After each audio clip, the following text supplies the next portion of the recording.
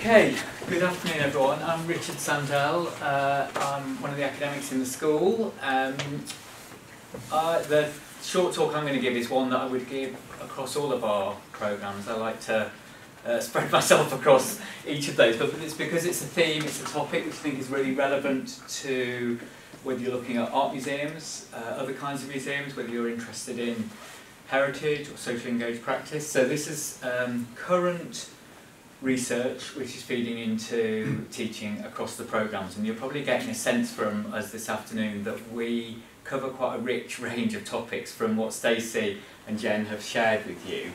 Um, so my focus is on the ways in which museums are increasingly caught up with social, political and environmental activism and that notion that museums might be active in trying to change the world is one which is uh, increasingly, well, it's, it's, it's widely felt to be quite a problematic thing. Museums are supposed to be neutral and impartial and trustworthy, and that's seen as being in tension with this idea of being more campaigning and socially purposeful.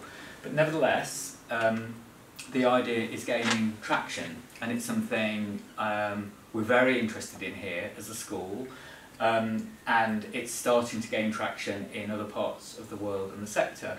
Uh, the Museums Association, our professional body for museums and galleries in the UK, uh, launched a campaign called Museums Change Lives, which was encouraging museums to take up a socially purposeful role, to explore their potential and to be more open um, and to articulate more clearly how they could uh, inspire people to do things differently, how they could create better and uh, support more diverse and engaged communities and so on. So this is an area that I'm particularly interested in. And in the short time today, uh, the structure of my talk is just two uh, main parts. So firstly, we're going to look at how museums have become increasingly sites of uninvited protest.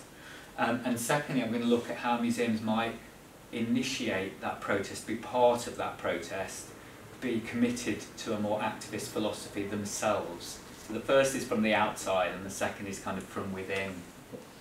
So uninvited protest.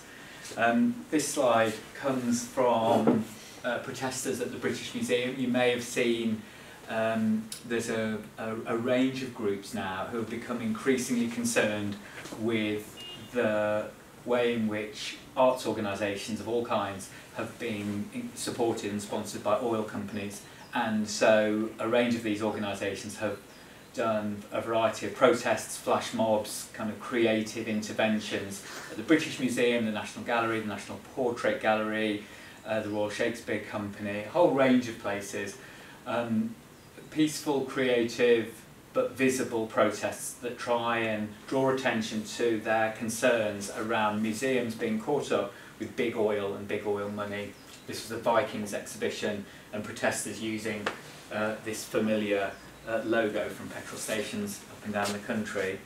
Um, another one from a similar, um, a, a, different organisation, uh, Liberate Tate, that in 2012 brought this 16 and a half metre uh, blade from a wind turbine, a decommissioned wind turbine in Wales, scrubbed it, polished it, put it into parts, carried it across uh, the bridge to Tate Modern, where it was assembled in front of bemused but interested visitors uh, and concerned staff and they pulled that together and they gave it as uh, a gift, as an artwork to the museum to try and uh, express their discon uh, discontent around uh, Tate's sponsorship um, arrangements with uh, BP and that arrangement has since ended. Uh, it's ended at Tate but it has continued at British Museum and those protests are continuing. And um, for the most part, museums and galleries have been criticised for uh, not engaging with those protesters. They've allowed them to come in, but they've been criticised for not being as open uh, as in discussing their concerns with them as they might. Although to their credit, uh, Tate Britain in, uh, this was in February 2014, they invited artists to create uh, these gifts uh, using paintings from their 1840s room which were then projected throughout that gallery. Uh, so it was an open call to artists to send in these digital submissions, and they did include se several of the protesters did uh, BP and oil-related uh, gifts, humorous around um, some of these works, and they did include them, so they didn't censor those out. They brought that into the the uh, projections that happened in that space. My second example of uninvited protest uh, is around the kind of narratives that museums produce and is an area that I'm particularly active in researching.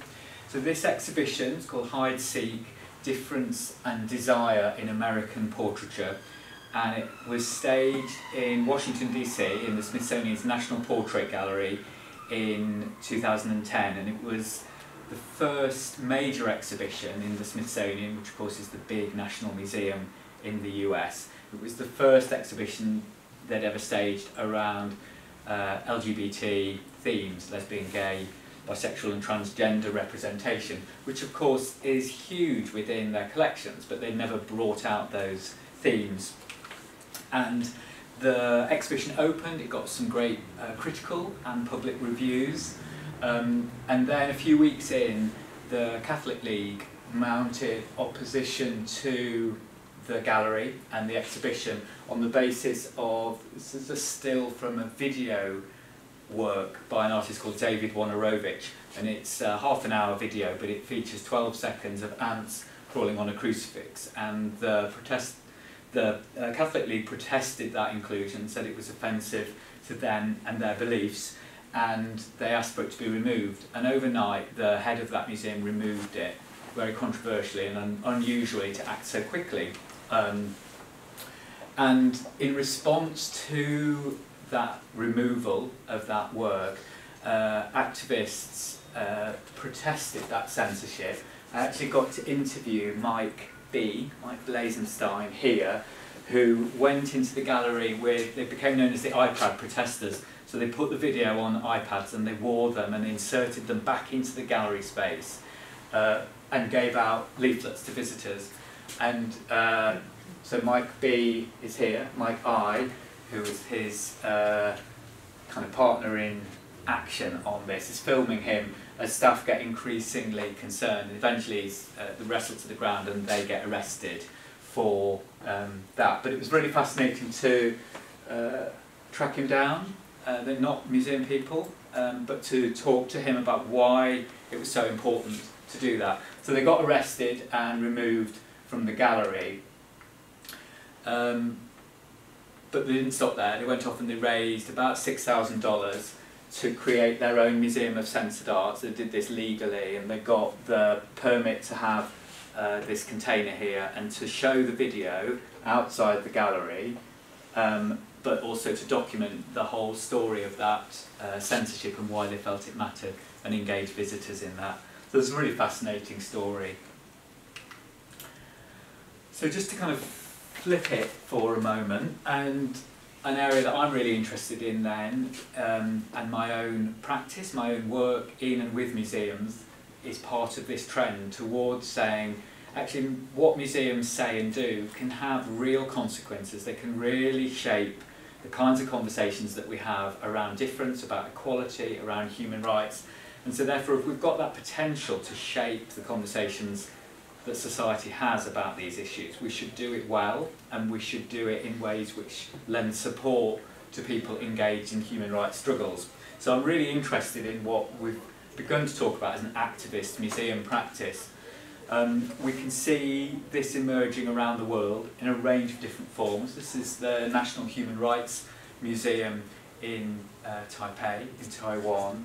Um, it's the a heritage site and a museum the site of a former uh, prison which housed political prisoners during um, a period of oppression. And you can go there, you can see where these prisoners live, you can meet prisoners and you can hear their stories.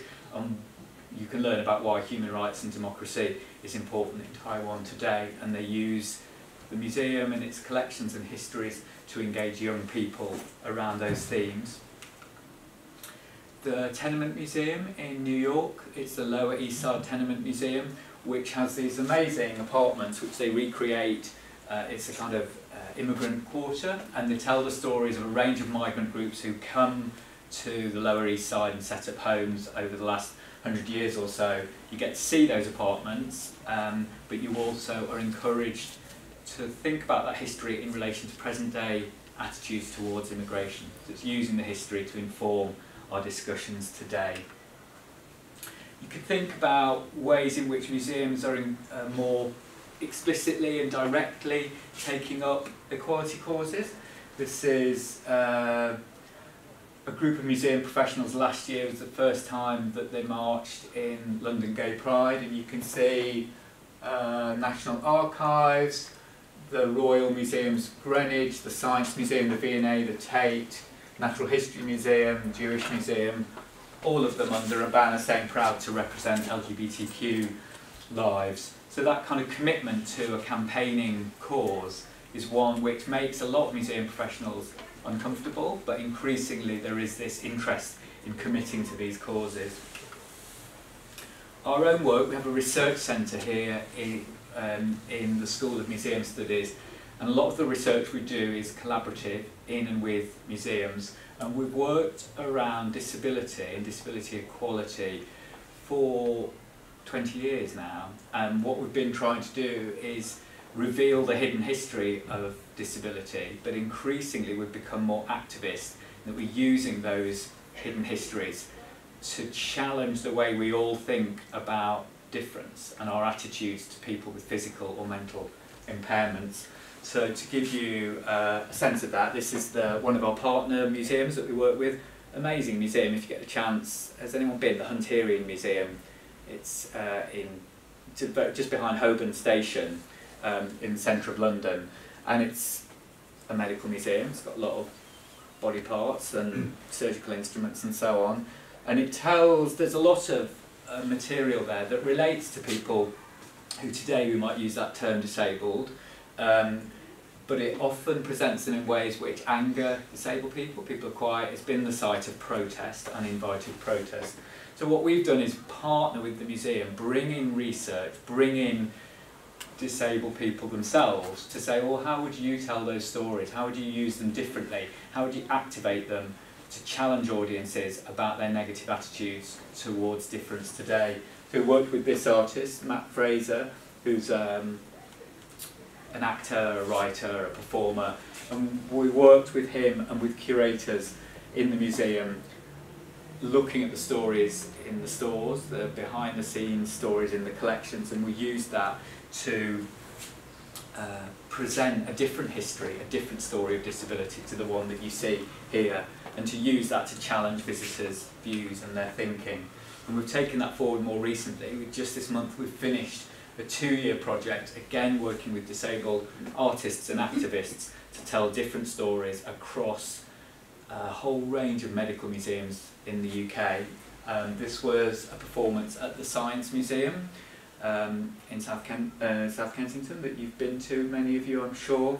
This is a group called Deaf Men Dancing. They are what they say, they are deaf men who dance, contemporary dance, choreography, but here they're using, so they blend dance and sign language, but they're also using material that they've found and stories and objects from the museums uh, that they worked with in order to challenge audiences about their own thinking and attitudes towards uh, people with hearing impairments. This is a very powerful, very kind of affecting uh, performance. So just to finish, because I know we're, uh, we're out of time, um, some of this comes up really up to date and one of the exciting things I've been doing with students over the last few weeks is getting them to think, we're all, many of us, and I'm assuming many of you are feeling exasperated, sickened by things like uh, Brexit and Trump. They are scary times that we live in, and how are museums caught up in that, and what responsibilities do we have to respond? Rob um, did an amazing uh, post, you can find that on our Twitter feed, looking at how museums can respond to a world in which hate and hate crimes are rising, and how can we respond. And this one was one, uh, you can see, uh, so there's only a week ago, I think, or something. A couple of weeks ago, we brought this in with students to say, because it came up on my uh, Twitter feed in the morning, uh, Museum of Modern Art uh, in the US reported in the New York Times, in response to last week's travel ban, we've installed works by artists from the nations denied entry to the US. So museums are normally really slow and they're kind of apathetic about these things, but here was a gallery that acted very quickly to speak back to what they saw as something very problematic, which was Trump's travel ban. But another gallery responded, and if you saw, they took all the works, they took everything off the walls that was made by an immigrant and didn't have very much left. They had like one small kind of rubbish painting in the corner or something, I can't remember. But to make these political statements and acknowledge that culture is political, and it's difficult in depending on what's the, the context that we work in and how we're funded. But what's been exciting is working with students to explore ways in which you can draw on your own values as a museum professional and think about what you believe in and what's important and use that in order to make a small difference in these kind of difficult and scary times. So I'll pause there. But um, it's a theme which is fast changing. Uh, we're bringing in current research to think about it, and it would be great to explore that with you if you do come and join us at Leicester. Okay.